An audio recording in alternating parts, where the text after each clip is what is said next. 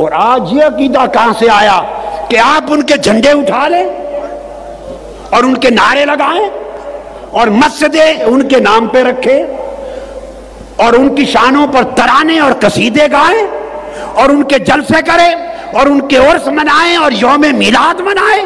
खुदा के लिए मुझे बता दो, तेरह सौ साल में ये अकीदा मैंने अपनी ज़िंदगी में नहीं देखा। मोहतरम बिशप डॉक्टर एंड्रयू फ्रांसिस साहब जो आज की इस तकरीब के चीफ गेस्ट भी हैं। पादरी चमन सरदार साहब, आज की ये तकरीब क्रिसमस की सेलिब्रेशन के सिलसिले में, अली के मिनहाजुल कुरान की तरफ़ से मुनद हुई है।